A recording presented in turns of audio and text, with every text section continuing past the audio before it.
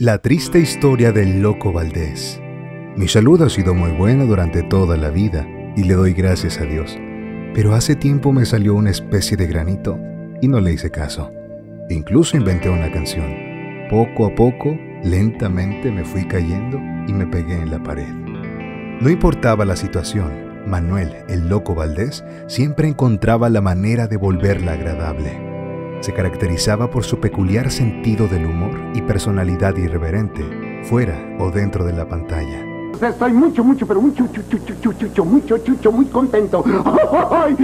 Sin embargo, su vida no fue nada fácil. El comediante vivió batallas que marcaron su destino, entre ellos la despedida de sus más grandes amores y hermanos.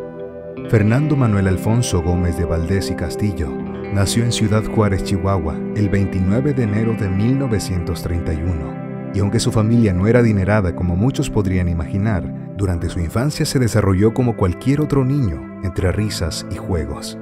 Fue hasta los 14 años que se animó a seguir los pasos de sus hermanos Germán Valdés, Tintán, y Ramón Valdés, formando parte del elenco de la película El Hijo Desobediente un paso que más adelante lo llevaría a ser una pieza clave en una de las dinastías de actores más importantes de México.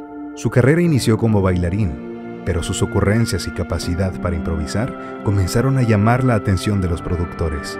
Fue así como logró conseguirse el apodo del Loco Valdés, y con esto también llegaría su primer gran oportunidad en el programa de televisión Variedades del Mediodía.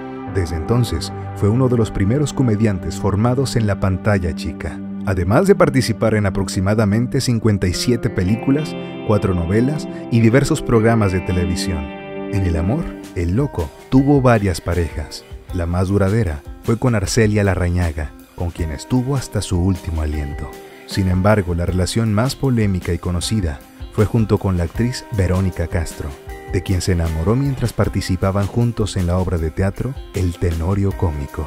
El fruto de ese romance fue el cantante Cristian Castro, a quien no quiso conocer en su momento.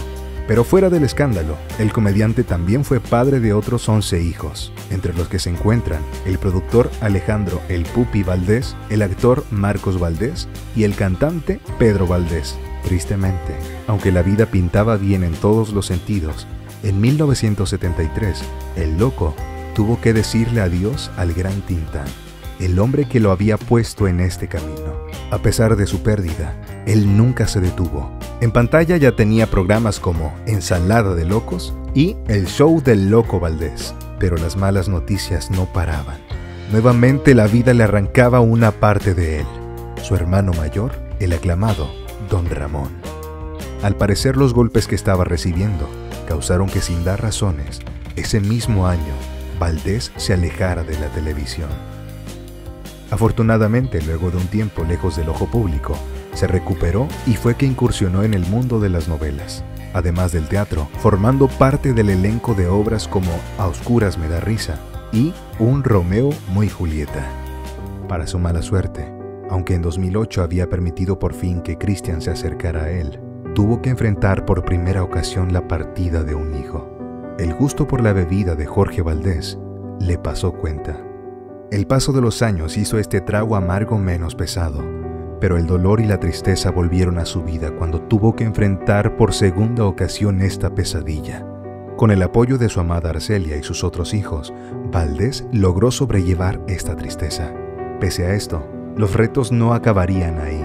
En 2016, este hombre decidió nuevamente disminuir sus apariciones para dedicarse exclusivamente al cuidado de su esposa, quien fue diagnosticada con un malestar crónico. Tengo mucha fe en Dios, mucha fe. Como si esto no fuera suficiente, al año siguiente la vida sorprendió al comediante con una enfermedad que lo hizo luchar durante sus últimos años, produciéndole complicaciones y deterioro en su salud.